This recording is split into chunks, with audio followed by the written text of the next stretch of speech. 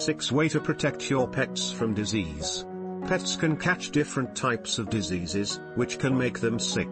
These diseases affect their quality of life and can be passed on to you.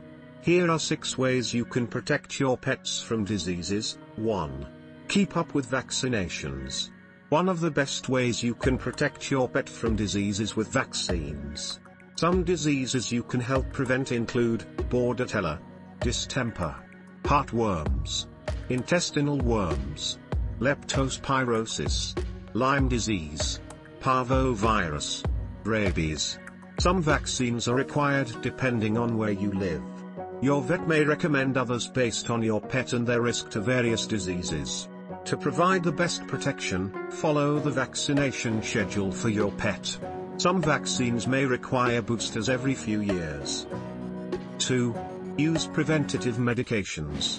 Fleas and ticks are common issues for cats and dogs, especially ones that spend time outside. These parasites are irritating and can carry disease.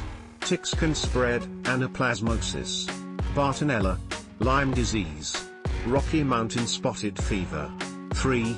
Check over your pets when they come inside. If your pet spends any amount of time outside, it's always a good idea to check them over for fleas and ticks, even if you're using preventative medicines. Be sure to check indoor pets regularly if they live with another animal that goes outside. If you do find a tick, remove it as soon as possible to lower the risk of your pet getting sick or developing an infection. If you're having trouble removing the tick yourself, call your vet to schedule an appointment. 4. Get routine vet visits. While pets often show signs of illness, some symptoms aren't always noticeable right away. Annual, or twice yearly, wellness exams by a professional vet can help uncover issues, including diseases, that you might not know your pet has. 5. Watch what your pet eats. A healthy diet is important for your pets. Some pets, however, are curious and may tip over the trash can to see what's inside. When they do, they might decide to ingest spoiled food, which could have bacteria or parasites on it. You should avoid letting your pets share a community water bowl, such as one at the park. 6. Wash your hands thoroughly.